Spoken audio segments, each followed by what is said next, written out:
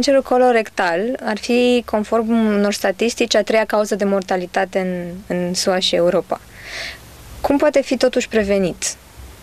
Uh, da, așa este. Este a treia cauză de mortalitate printre cancere. Poate fi prevenit uh, prin uh, dacă se face un screening corect. Screening înseamnă metode de investigații care se fac la persoanele cu risc și nu numai. Uh, ar trebui făcute cele mai simple metode de diagnosticare a cancerului colorectal sunt, uh, sunt teste de, pentru sângerările oculte, adică mici cantități de sânge care se elimină prin materiile fecale și care nu pot fi vizualizate cu ochiul liber și un examen colonoscopic.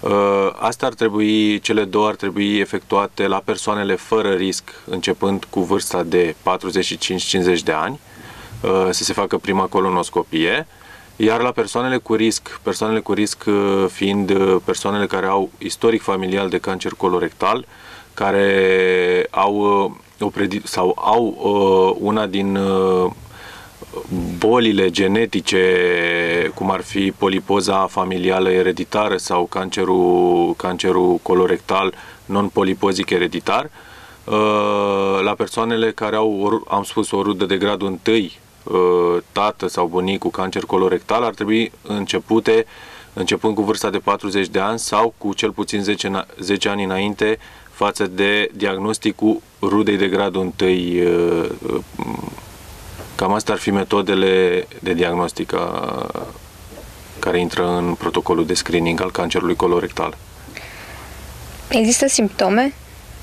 Există simptome, dar din păcate sunt uh, foarte nespecifice, adică ele pot fi confundate cu simptomele oricărei, oricare alte boli a tractului digestiv. Printre simptomele frecvente sunt uh, sângerările la, uh, cu ocazia scaunului, sângerările din materiile fecale, sunt uh, constipația cronică sau diarea cronică uh, sau uh, senzația de, de defecație ineficientă, senzația pe care o are omul atunci când simte că nu a eliminat toate materiile fecale, uh, sunt scăderea în greutate, uh, oboseală, uh, anemia cronică, mai ales în cancerele de pe partea dreaptă, cancerele de colon drept, uh, dureri colicile abdominale, uh, așa că sunt foarte nespecifice. Com, uh, simptomele, uh, să zic așa, mai specifice apar, din păcate, odată cu complicațiile cancerului colorectal, atunci când uh, apare o perforație, când apare o ocluzia intestinală, când apare o hemoragie de la nivelul formațiunii tumorale. Există anumite afecțiuni care pot evolua în Există, în există, da, există uh, uh, leziuni premaligne ca să, sau leziuni care pot conduce la dezvoltarea cancerului colorectal. Printre ele se numără bolile inflamatorii ale tractului digestiv, colita ulcerativă, boala Crohn. Sunt anumite, leziu- sunt anumite boli genetice care pot uh, uh, dezvolta cancer colorectal, printre care sunt anumite sindrome, sindromul uh, Uh, polipilor hamartomatoși. Sunt foarte multe boli genetice care pot, se pot transforma în uh, leziuni, în leziuni maligne. Cea mai simplă leziune care poate avea o transformare malignă sunt polipii. Polipii sunt de mai multe tipuri, sunt polipe adenomatoși, sunt polipi, mai multe tipuri de polipi. Aceștia, odată cu efectuarea unei colonoscopii, trebuie uh, Uh, excizați, trimiși la uh, examen histopatologic și văzut de ce natură sunt pentru a se putea trata corect în continuare această leziune. În ce constă tratamentul și intervenția chirurgicală? Uh, vorbim despre tratamentul chirurgical. Da, da, da. Uh, tratamentul chirurgical uh, constă în, după o, să spunem așa, o evaluarea pacientului din punct de vedere hematologic, din punct de vedere al uh, investiga- se fac investigații, se face CT abdominal, se face RMN, uh, se vede o stadializare preoperatorie și dacă există două tipuri de intervenții, uh, intervenții radicale, oncologice, adică atunci când este prins într-un stadiu bun și se poate scoate tumora împreună cu o parte mai mare de intestin, adică se poate face o hemicolectomie dreaptă în care se scoate ultima uh, parte din, de ansă ileală, se scoate cecul, colonul ascendent și o parte din colonul transvers, împreună cu ganglionii și cu vasele de sânge la origine.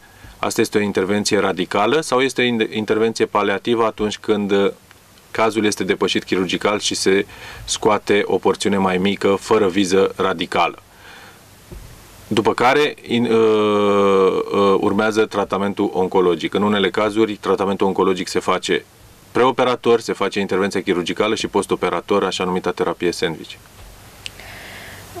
Ok. Și cum un pacient care, să zicem, a reușit să îl depisteze la timp, da. cum va fi, nu știu, calitatea vieții postoperatorie? Păi, ce se, asta, ce în, se va schimba? În, în asta, uh, calitatea vieții postoperatorie se măsoară, adică uh, este așa numitul prognostic la 5 ani.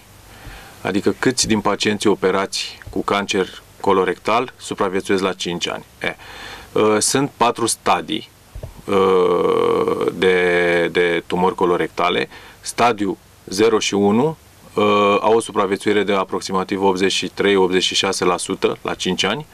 Stadiul 2 are o supraviețuire de undeva, undeva la 70%, stadiul 3 are o supraviețuire undeva la 50%, iar stadiul 4 are o supraviețuire la 8%, 8-9%. Uh, calitatea vieții nu este afectată, să spunem, în funcție de intervenția chirurgicală. Sunt intervenții care pot să afecteze calitatea vieții atunci când intervenția este doar paliativă, când uh, se poate face o colostomie, atunci, într-adevăr, colostomia înseamnă că Uh, se scoate o parte, se scoate tumora și se, o capăt al colonului se scoate la piele și atunci tranzitul intestinal va fi deviat către exterior. Într-adevăr, atunci calitatea vieții se poate schimba, dar există metode moderne de uh, tratare sau de, de învățare a celor, celor cu colostome să-și, uh, să-și uh, vadă de viață fără nicio problemă.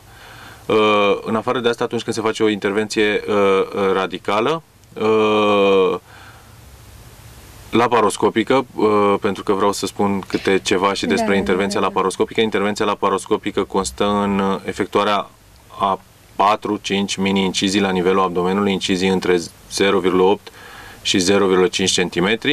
Uh, se introduc pensele speciale de laparoscopie, o cameră optică, se identifică tumora, se se scoate acea parte de colon de care am vorbit uh, și avantajele acestei intervenții sunt multiple, durele postoperatorii sunt minime, riscul de infecție este minim, recuperarea este mult mai rapidă, durerea iarăși este mult mai mică, uh, sunt multiple avantaje, dar laparoscopia are anumite limite. Într-un stadiu avansat al tumorii nu se pot face, în general, peste stadiu 3